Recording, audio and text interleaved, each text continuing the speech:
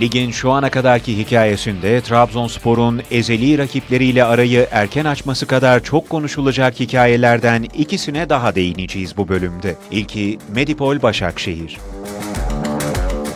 Ligin 6. farklı şampiyonu olduktan sonraki sezonda Şampiyonlar Ligi'nde mücadele gücü olarak sorunlu olmayan maçlar oynayan Manchester United'ı yenen, Leipzig'e iki maçta da direnip sahasındaki maçı Charlotte'un uzatmalarda attığı golle kaybeden Başakşehir, ligi ise iyi bir yerde bitirememişti. Okan Buruk'la yollarını ikinci yarının başında ayıran turuncu lacivertliler, Aykut Kocaman yönetiminde ligi olmak isteyeceği yerde bitirememesine rağmen yine de az da olsa yükselmişti.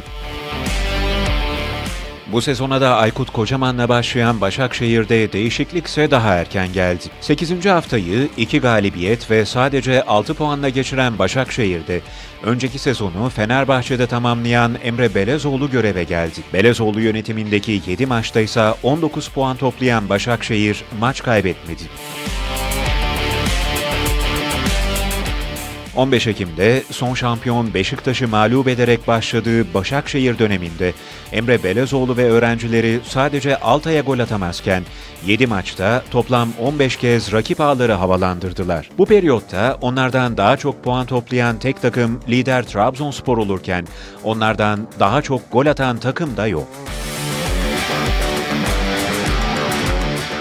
Emre Belezoğlu henüz teknik direktörlük kariyerinin başında. Bu bir gerçek. Ancak şu anda normal bir Süper Lig sezonunun yarısı kadarlık karnesi. Ligde en az 15 maça sabit teknik direktör olarak maça çıkmış isimler arasında galibiyet yüzdesi ve puan ortalaması en yüksek isimde onu Carlos Alberto Pereira ile eşit değerde gösteriyor.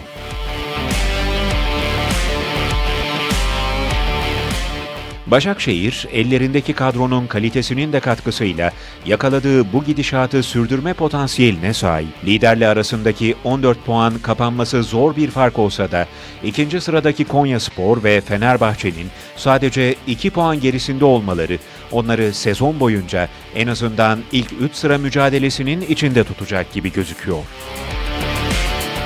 İki hikayeye yer vereceğiz demiştik. Bunlardan biri de aslında kendini Emre Belezoğlu göreve geldikten sonraki puan tablosu grafiğinde belli etmiştir. Dikkatli gözlere.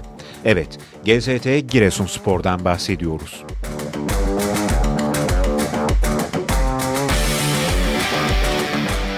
Ligin ilk 7 haftasında bırakın galibiyet almayı, beraberliği bile zor bulan GZT Giresunspor, oyuncularına ve teknik adamına olan güveninin karşılığını son 8 haftada almış gözüküyor. 8. hafta ve sonrasının puan tablosunu oluşturduğumuzda Trabzonspor ve Başakşehir'den sonra en çok puan toplayan takım Giresunspor. Yine ligdeki ilk 5 maçında gol de bulamayan Giresunspor, Fenerbahçe maçındaki siftahından sonraki 10 maçın 9'unda en az bir gol atmayı da başardı. Bu sezonki ilk galibiyetlerini aldıkları 8. haftadan bu yana da oynadıkları 8 maçın 5'ünde kalelerini de gole kapamayı başardılar.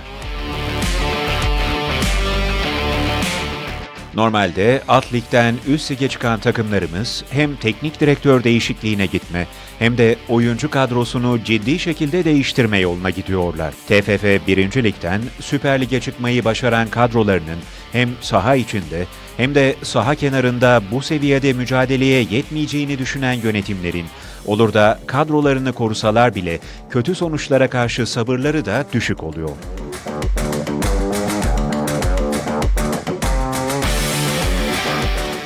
Giresunspor bu konuda da olumlu bir ters örnek teşkil etti bu sezon şu ana kadar yaptıklarıyla.